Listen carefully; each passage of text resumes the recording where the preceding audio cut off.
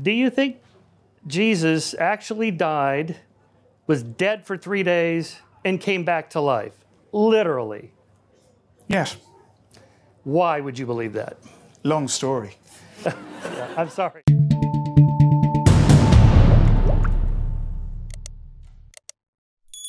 I'm a Christian myself, but I'm, you know, if people want to say, well, actually, you sh- Sophie, you should be this kind of religious person, or, or maybe no kind of religious person at all, you should get your sense of the transcendent outside religion, my response to that is, okay, let's talk.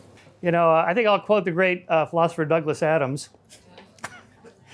you know, isn't it enough that the garden is beautiful? You don't have to believe there's fairies at the bottom of it. You know, why do we have to add the woo woo stuff? Why do we have to add the supernatural, the paranormal? First of all, there's no reason to believe it exists at all. And if it does, then show us the evidence for it. This is a kind of a scientific way of thinking about these things. Is it true? So, since Sophie Grace uh, said she's a Christian, let me ask you do you think Jesus actually died, was dead for three days, and came back to life? Literally. Yes. Why would you believe that? Long story. yeah, I'm sorry. I used to believe it. I was a born again Christian for seven years, and I just decided I don't think it ever happened. Now, if somebody says, well, it happened mythically or it's metaphorically true, uh, Joseph Campbell, Jordan Peterson kind of, this is my pragmatic truth, it works for me. I'm not trying to claim it's literally true. All right, I can see some value in that. But I don't want to believe things unless they're actually true and, and, and unless it's in some other realm, like a political truth, you know, what's the right percentage of immigration in any country? There's no scientific answer to that question. Uh, or, you know, religion has certain truths about it that we can't prove, but they're my truths. Okay. But, but I would accept Jesus as my Savior if you could convince me it actually happened. Go.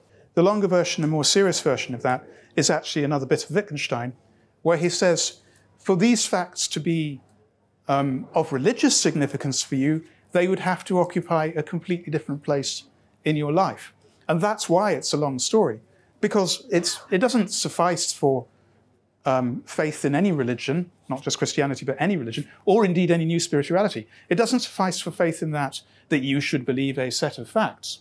And in that sense, I don't believe it is about a set of facts. It's about an existential orientation to what you take to be facts, um, which, as a matter of sober history, may or may not have happened in the historical record. So you are constantly attempting, at least I think if you're sane and critical, you're constantly attempting to keep your mind open and to say, well, let's go on talking. You have this very different perspective on religion from me. I would want to say to someone like Michael that a lot of the time you're, you're just pushing at an open door because that's not where that's not what it's about for me, being a Christian. That's not where it comes from. And I imagine for people who embrace new spiritualities, it's not where they're coming from either. It's not about bald facts. I mean, as if, you know, sort of cosmic parking tickets are issued. Look, I've got the parking ticket. Here's the proof.